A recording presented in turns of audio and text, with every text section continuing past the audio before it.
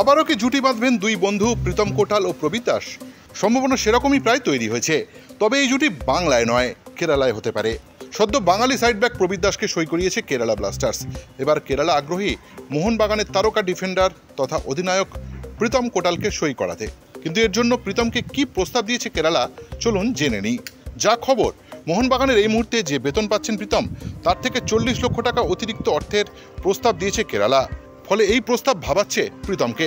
শোনা যাচ্ছে প্রীতমের তরফ থেকে কেরালার এই প্রস্তাবের কথা জানানো হয়েছে মোহনবাগান সুপার জায়ান্টের টিম ম্যানেজমেন্টকে। এখন দেখার, আইএসএল জয়ী অধিনায়ক তথা জাতীয় দলের ডিফেন্ডারকে কি ছাড়বে মোহনবাগান?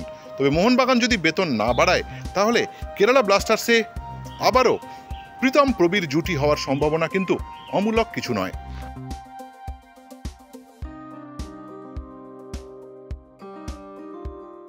Extra time.